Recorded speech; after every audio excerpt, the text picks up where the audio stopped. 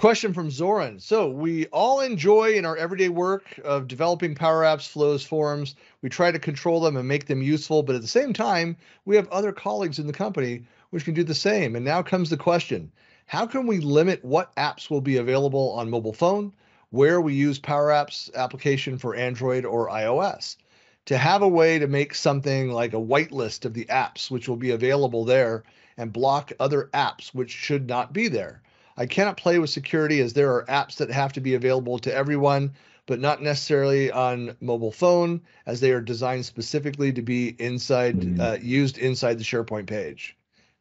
Uh, very interesting questions, Oren, and uh, it's great to hear that your organization is uh, doing a lot of uh, innovative things with the Power Platform, and that's what it's there for. But I think inevitably what happens is an organization will start to to use that platform and the tools therein to start building up these solutions. And as it starts to grow, sounds like there might be a need for some governance. Yeah.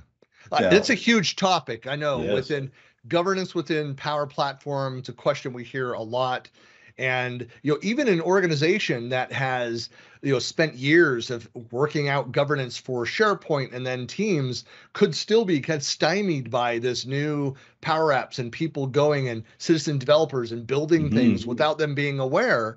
And so it's it's an important question that just that organizations need to discuss handle sooner rather than later.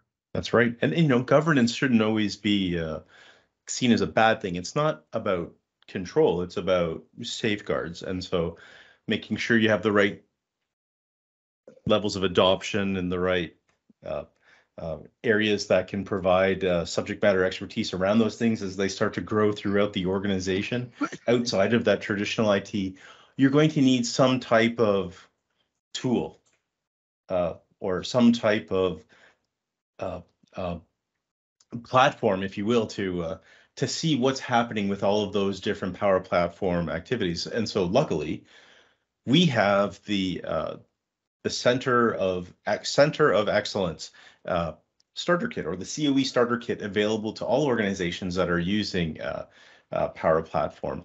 And it's a collection of of uh, Power Platform apps, uh, flows that will go out and harvest all of the apps, flows, and other types of entries that exist, put them into a single pane of glass where you can view things to understand where it's used, the types of uh, uh, components that are used there, and uh, you know, premium standard, those types of things that you can start to uh, have a holistic view of what's happening in the organization with Power Platform, and then try and build those supports that will lead into a governance model that makes sense for the organization.